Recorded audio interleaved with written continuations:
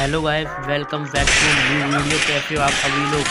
आपको भाई इस वीडियो में बताने वाला हूँ हेडशॉट कैसे मारे हेडशॉट भाई बस तीन ट्रिक होती है हेडशॉट मारने की। भाई पहली ट्रिक होती है आपका फायर बटन भाई आपका फायर बटन लेफ़्ट में धरा है या राइट में धरा है, इससे भाई हेडशॉट नहीं आपका फायर बटन भाई नीचे होना चाहिए राइट साइड में आप मेरा देख ही सकते हो और ऊपर एकदम ले जाते हो तो भाई मेरे हेड पड़ते हैं।